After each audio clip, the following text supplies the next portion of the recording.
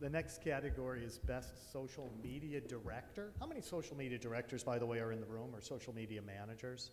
Okay, or how many of you are just doing that in addition to everything else you do? Yeah, okay, that's good. And the honorable mentions are, if you could please stand if you're in the room.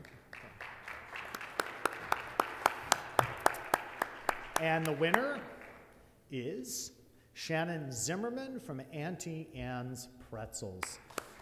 Shannon has just done an amazing job in doing everything that every social media manager has to do, which is be aware of all the trends, know all the platforms, and be able to do more than anything else engage customers. Engage them on Facebook, engage them on Twitter, grow your fan base, and keep them excited about a pretzel which is pretty an amazing accomplishment when you think about it. So, Shannon, I don't, is Shannon here? Yes, there you come. Or you're accepting for Shannon. Thank you.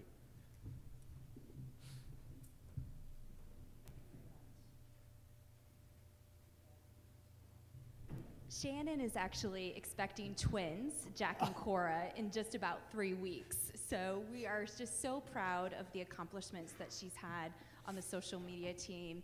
Um, as you may have read in her entry, she was recognized in a teen magazine because she reached out to an individual who said that they loved Auntie Anne's pretzels, and she went ahead and gave them a coupon. And she's just always engaged with individuals, and that's important because we're a fun treat and when people are shopping or when they're traveling. And so we need to make sure that that brand personality comes to life in all of our venues. So how do you thank get the flavor online, though, the smell. We're still working on that, but How many of you know. like Auntie Anne's pretzels? Yeah, okay, good. Did you bring some for everyone?